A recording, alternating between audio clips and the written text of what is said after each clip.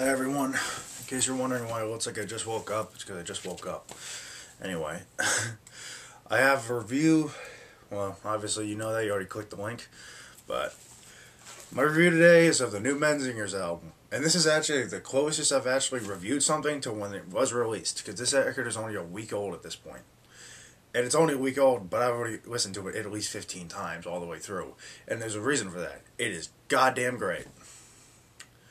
Yeah, Time Magazine wouldn't print that description of the review, but or Rolling Stone, or whoever does city reviews. I don't know. I don't read magazines. Anyway, my point is the record is very good. Um, it's better than the first two. It's better than anything that's come out this year, and it's one of the best albums I've ever heard. Um, start with the packaging here.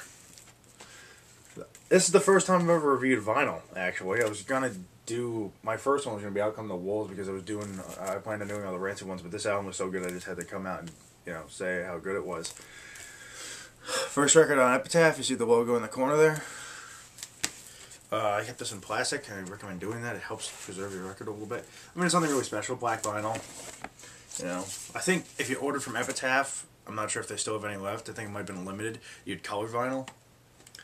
Um, this thing has always been cool to me. The Canary and the coal mine, I like that. And of course, there's the lyrics in the back.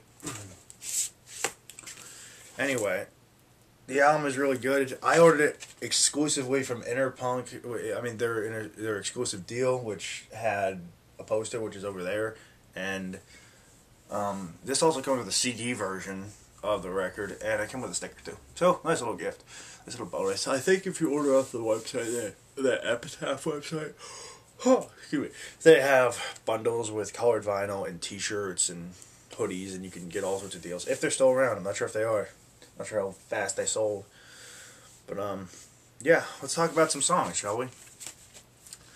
The opening, Good Things, just such a song that starts slow and kicks, and I love stuff that does that, and it's really a good song.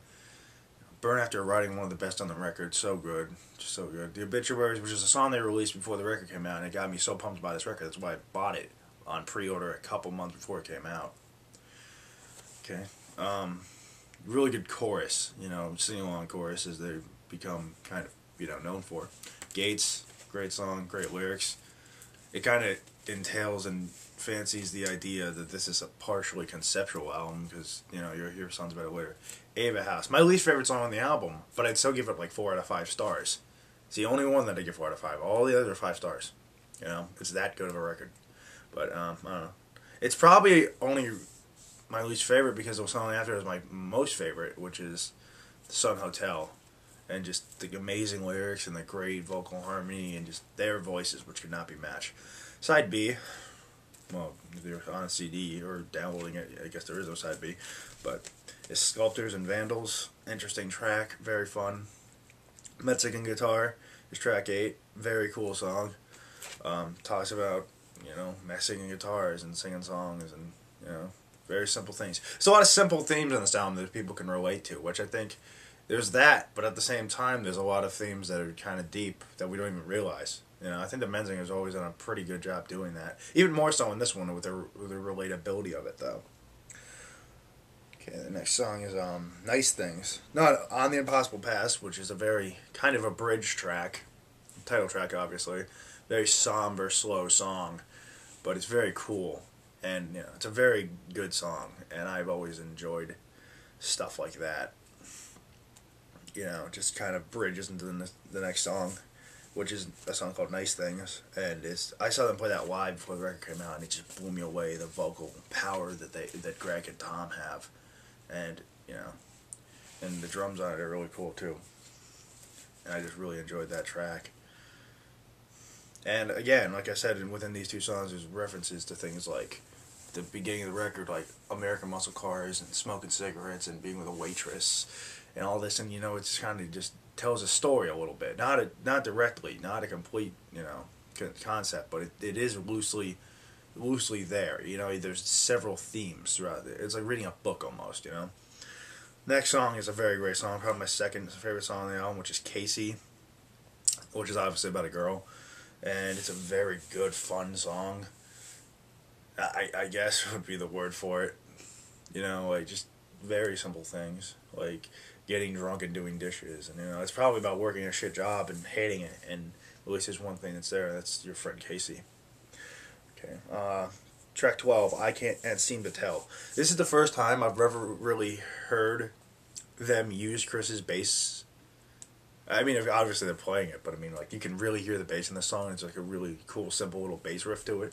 And really kind of sound. I said this a lot already, but um, it sounds like almost like an early 90s alternative song or something. But I like it, it's really cool. Um, Yes. so, and the final track is Freedom Bridge, an excellent way to end the record. Just a totally awesome song. And it just leaves you with this feeling of, wow, I just listened to a great record and I just got a great finish. There's a lot of, I hate when bands have such good records and their last song is less than, you know, less than stellar. I hate when that happens. But um, 13 tracks, and I give, if we are going to do by the modern standard, which is the iTunes five star or, or system, I'd give every track on here but one five stars. So this album would get like a 97 on a test, you know? it is that good. It is beyond great. Epitaph was a good move for this band.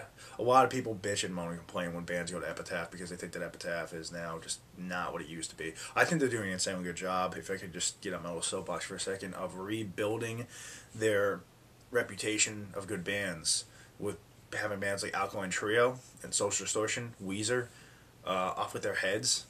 It's it's been pretty good for them in the last few weeks. I mean, last few years of trying to establish themselves as a great indie. You know, because they were getting their asses kicked by Side One Dummy and Fat as far as good music, because they'd really gone a screamo and metalcore direction. A lot of their core fans were like, "What are you doing?"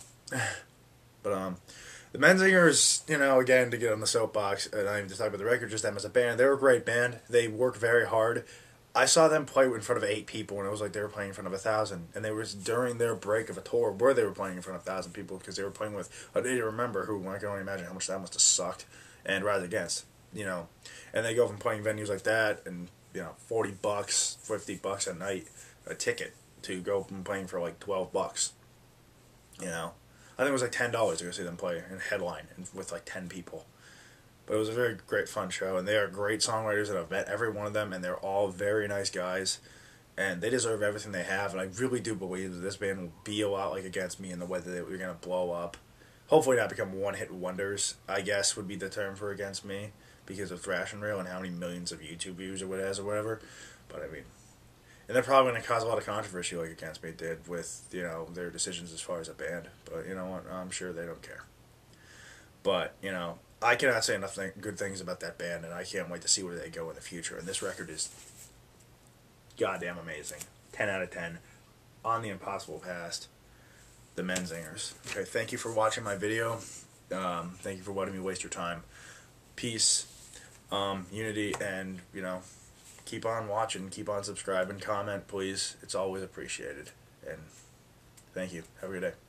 I remember you well at the Sun